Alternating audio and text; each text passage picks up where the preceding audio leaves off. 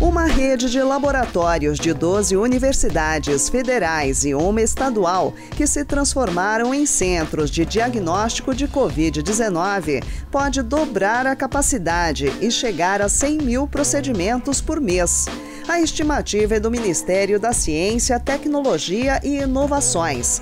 A iniciativa será coordenada pela Universidade Federal de Minas Gerais.